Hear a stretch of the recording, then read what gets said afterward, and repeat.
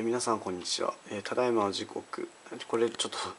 電波時計より10分ほど早進んでいるのでまあ8時ぐらいですね。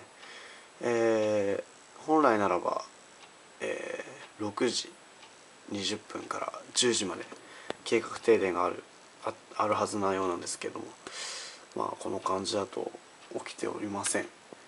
一応本当に最小限の電気に抑えて生活をしております。でなんかあのアナウンスがあったんですけどよく聞こえなくてもしかしたら計画停電がここの地域では実施されてないのかもしれません、えー、というわけでちょっとした現状報告でした。